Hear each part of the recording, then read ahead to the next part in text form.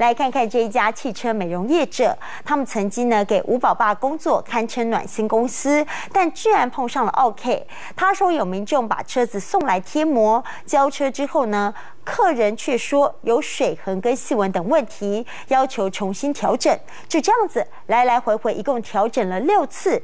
原本老板以为呢，终于处理完毕，没想到呢，顾客随后竟上 Google 评论写文章，留下了一颗星的负评，让老板非常不满，也发文抱怨。没想到这客人还提告他妨碍名誉，最后呢，老板也不吞人了。现在双方对簿公堂。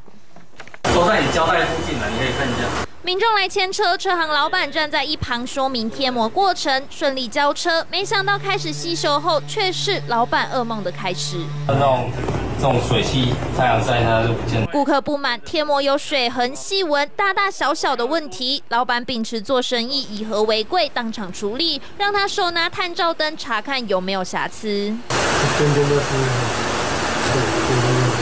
车子包膜一共花费四万一千块钱，后续来来回回调整六次，其中还重新包膜两次。顾客回家后却在 Google 评价留下一星负评，让老板难以接受，上网抱怨，却被车主直接到了警局报案，妨害名誉。我记得说你有什么事情我都帮你处理好，也都交代好，你当下也都说 OK，然后你每次都要回来。八月八号他就给我在我们那个 Google 的评论上面丢一颗星，然后讲一些颠倒是非的话。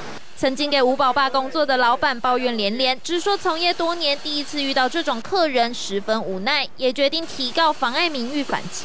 与汽车美容业者有消费纠纷产生嫌隙，呼吁对业者提告。